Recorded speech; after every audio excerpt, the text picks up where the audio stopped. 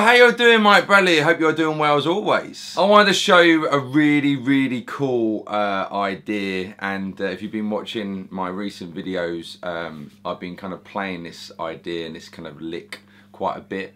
Um, I love it. It's uh, it just gives it that kind of pro sound without sounding too hippie and new age.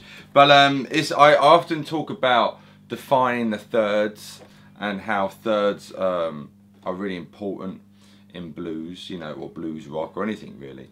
And what I'm doing here, you could look at it as I'm playing a major scale and I'm throwing in this flat flattened third to the major third, but with a cheeky bit of sliding. And I love sliding, it gives it a cool little bit of personality.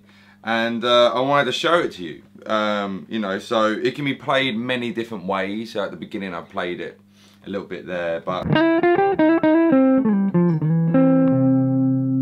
that's the the meat and potatoes of it, right? And then you can take it and manipulate it. But it's that idea.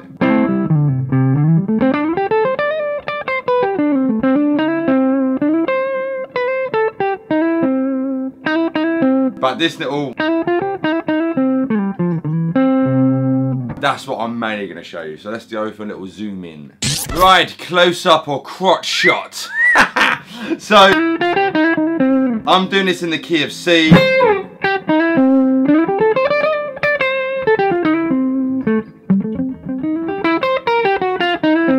Just because I seem to want to play in C today. So, uh, what I'm going to do, I'm starting off on this full fret, which is the E flat, which is the flattened third and slide into the to the E, the major third. And then the rest is just literally going down the scale. So, so I'll be playing F on the 6th fret on the second string and then G on that same string on the 8th fret. And then going back to that fourth fret and sliding uh, twice uh, to the 5th fret. So you got that. And then when I do a little roll up to that third fret on the third string. So you got that. Now that in itself is really cool. But we're gonna add a bit more to it. I'm gonna slide A to G on the full string on the seventh fret, back to the fifth fret,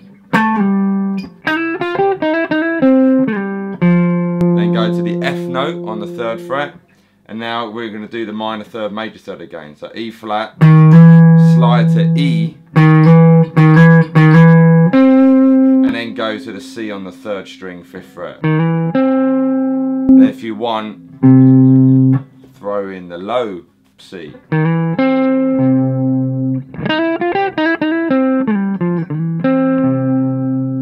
So really, really simple. Sorry, so, hi.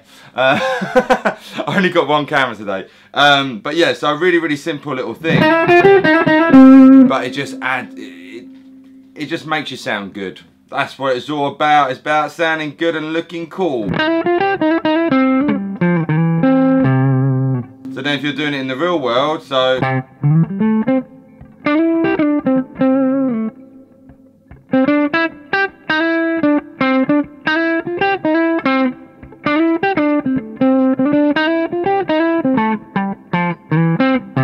So there I did the exact same idea in, in a real world situation, in, a, in an improvised thing the the rhythm has changed, but it's still the same note. So nothing's verbatim, nothing's written in stone.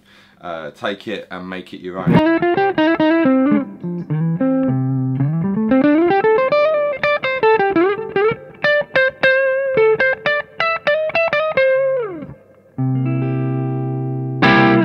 There you have it. Hopefully you agree. That's a very, very cool sounding, bluesy, melodic just uh, doesn't have to be in blues, just a melodic kind of playing. You know, touching I suppose gives it a bit of a sophisticated blues if you're going to do it, or sophisticated jazzy blues kind of thing.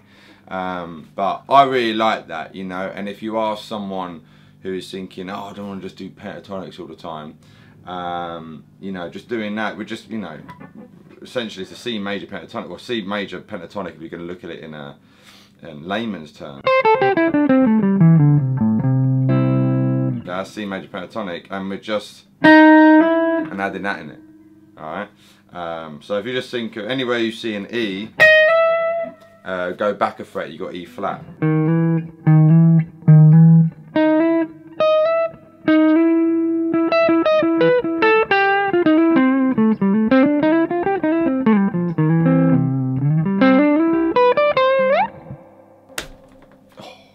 Reverb.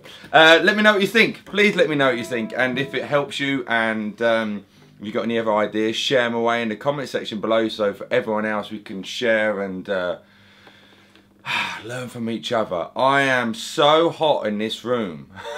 I am just soaking right now. It is so hot in, in the UK at the moment, in England. And uh, with lights on, and oh my god, I can't have the fan on, it'd be too noisy. But just so you know, I have probably lost a stone in weight in doing this video. So, you know, appreciate the love I'm sharing with you Hope you're all very, very well. Like I say, let me know in the comment section below uh, how, what you think of it, how you get on with it and whatnot.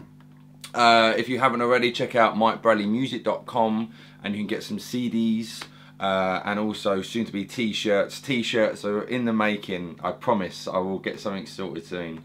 And uh, if you haven't already, make sure you follow me on Instagram and Facebook. It all helps. Uh, get uh, get the Mike Bradley name out there so I can reach as many of you as possible. You know? And also thank you to everyone on Patreon. Mustn't forget that. It's very very important. Thank you all uh, the guys who uh, support me on Patreon. It truly means a lot. Uh, anyway, hope you're very, very well. If you haven't already, make sure you subscribe. If you haven't, what's wrong with you, man? And I will, and woman, no sexism on this channel. Uh, hope you're very well, and I will see you very, very soon. Mike Bradley, a very wet Mike Bradley, signing out.